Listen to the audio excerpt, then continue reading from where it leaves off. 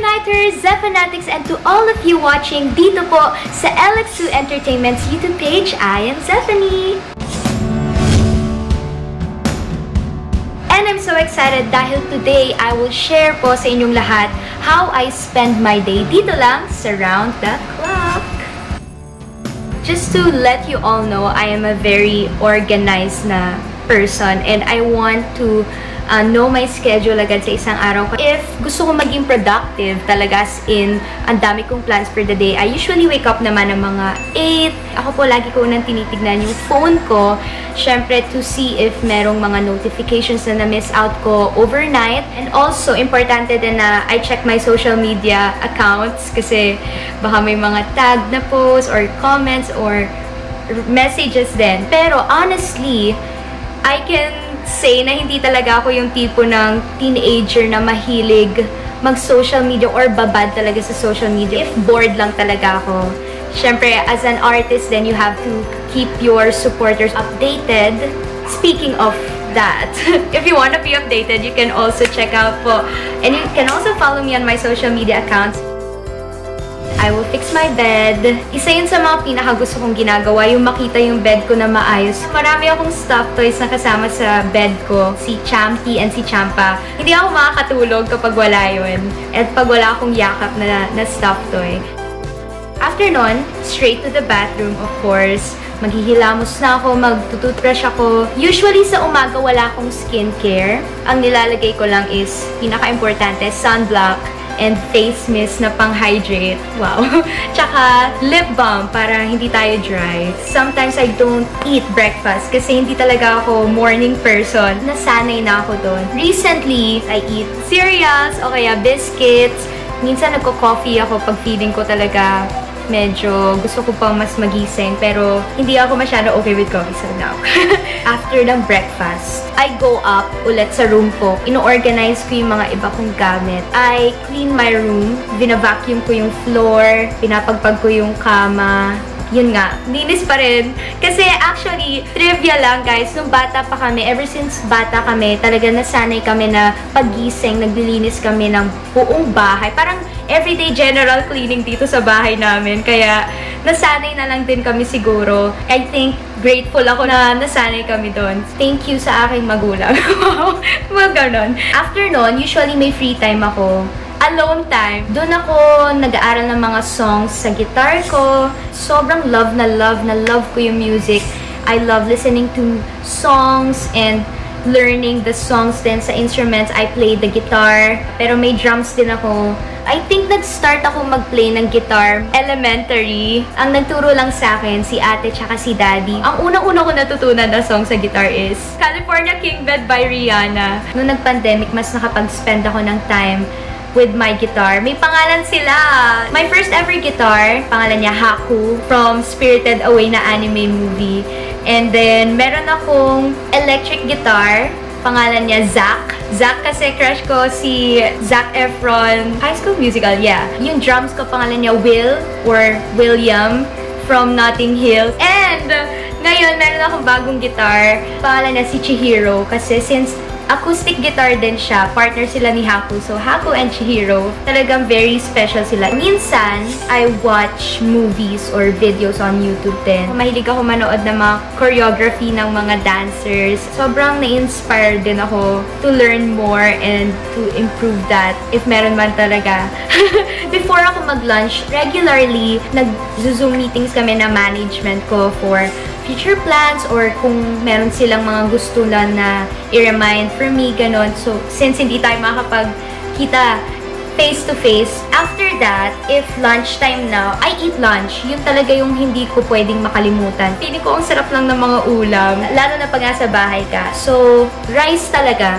Malakas po ako sa kanin. Favorite ko na ulam is ampalaya. Pero, ampalaya, pagluto lang ni mommy or luto ko. So, after nun, meron ulit akong free time. Usually, ng mga hapon, nagbabond ako with my dogs and with my siblings. Ang dami naming dogs. Yung ilan sa mga dogs namin ngayon ay rescued na sila. Sobrang love namin silang lahat. Si Denver, si Buttercup, si Boo, si Louie Beagle din, si Spot, Si Carmon din, isa din siya sa mga rescued na dogs. Si Gali, si Johnny na lang yung last na natitira galing sa angkan ng original na dog namin na si Bubbles. Si Nuggets, si Bruno, Shih Tzu, and si Kobe.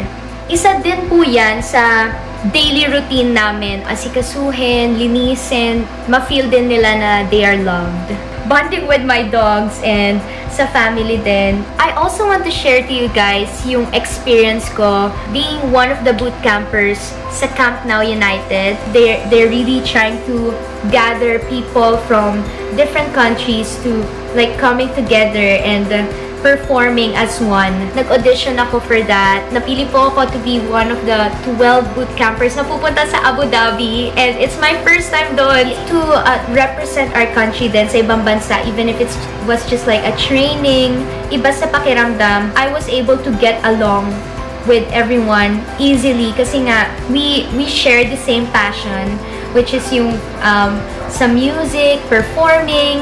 We also got to meet Mr. Simon Fuller. Nag-perform kami sa harap niya. Ibang level lang kasi syempre international na. Ang dami ko po talagang nabaon and natutunan dun sa from the two weeks na bootcamp namin sa Abu Dhabi. Believe in yourself, believe in um, what you can do, believe in your talent. Don't be afraid to get out of the box. Lumabas ka din minsan sa comfort zone mo.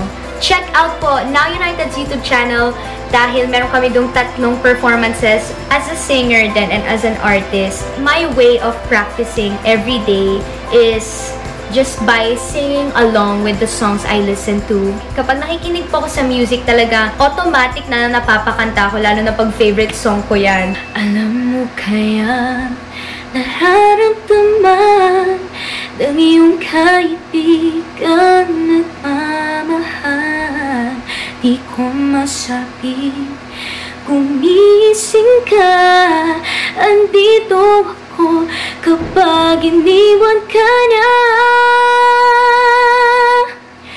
Di na ba hindi ako dinarana sa'yo? Di mo man maibalikan dito lang ako Siguro sa dulo, siguro hindi na Hanggang mayroong bukas, mayroong magpag-asa Don't forget to watch ASAP natin to every Sunday. Isa sa mga bagay na hindi ko naman siya ginagawa every day but it's also a routine just like Zoom meetings ay Kumu po. Doon talaga ako sobrang active ngayon. Usually, yung pag hahanda ko po for my stream sa Kumu, nagpe-prepare ako 6. Mag-aayos na ako uh, sa kwarto ko, magme-makeup ng very light and I'll do my hair, change my outfit, set up um, my equipment na mga yung pang streaming. It takes 1 to 2 hours ng preparations. My streaming time usually is 8 8 p.m. or 9 p.m. And I usually finish Kumu ng mga 10. And what I usually do din pala sa Kumu ko is pakikipagkwentuhan din and singing. Lalo na miss na miss ko na mag-perform, lalo na ngayon. Doon ko talaga um, ginagawa yon And, dinner. Minsan hindi na ako nagdi-dinner pag lalo na pag uh, when I feel talagang super tired. I don't eat dinner anymore. I just lie down and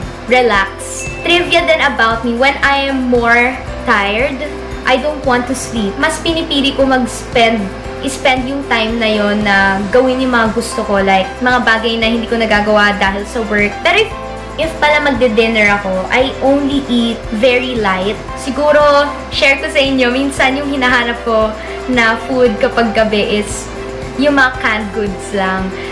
Ang favorite ko na mga canned goods, guys, corned beef na may corn. Like yung corn na, whole corn na dry, na shredded na siya, yung in can hahaluin mo yun sa with corned beef and then ketchup. Parang medyo hindi okay pakinggan, pero so sobrang favorite ko yun. So, mag-freshen up na ako, akit na ulit ako, magpapalit na or maghihilamos. And that's the time na gagawin ko yung skincare ko na hindi naman din ganun ka-extreme. Nag-wash lang ng face, then toner, eye cream, importante dahil lagi tayong puyat, um, moisturizer, lip balm and yung face mist ulit. Tuwing gabi, gusto ko din naglalagay ng mga hand cream or kaya lotion or oil for the body.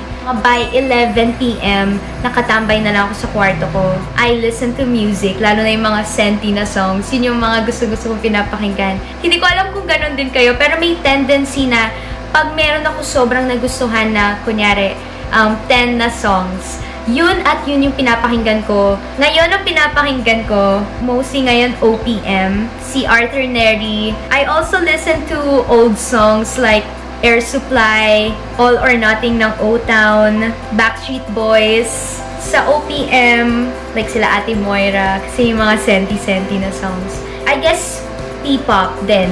While listening to music or i-off ko siya, dahil magsusulat na ako sa journal ko. Gusto ko talaga nagsusulat kasi nga ang dami kong thoughts. It's important for me, something na hindi ko din gusto makalimutan na gawin sa isang araw bago lalo matulog.